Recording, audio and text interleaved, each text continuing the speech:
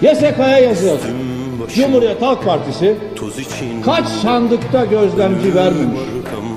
13 bin sandıkta Cumhuriyet Halk Partisi'nin gözlemcisi yok. 4 milyon oy yapar bu. 4 milyon oy. 4 milyon oyu sokağa bırakmışlar. Peki Erdoğan kaç oy az alsaydı ikinci tura kalacaktı? 1 milyon 300 bin oy. 1 milyon 300 bin oy az alsaydı seçim ikinci tura kalacaktı.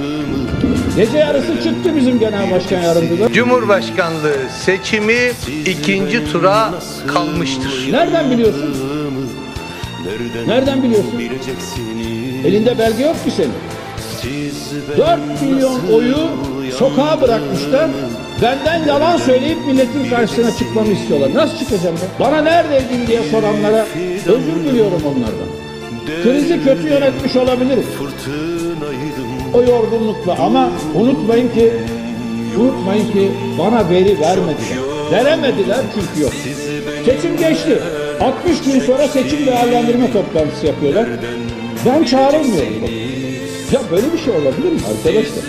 41 yılda yapamadığımızı 50 günde yaptık.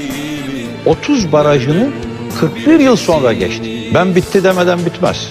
Bitmeyecek. Bunu başaracağız. Yani 107 olmuyorsa 307 mi? 50 gün olmuyorsa 500 gün. Yani e, gitmediğim il değil köy kalmayacak. Bunu başaracağız. Başarmalıyız. umut olacağız. Umutları yeniden yeşerteceğiz. Ve biz 50 artı 1 alarak iktidar olacağız. Hepinize teşekkür ederim. Başaracağız! Başaracağız! Başaracağız! geldim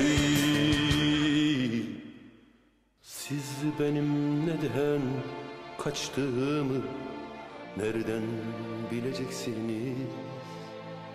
Siz benim neden kaçtığımı Nereden bileceksiniz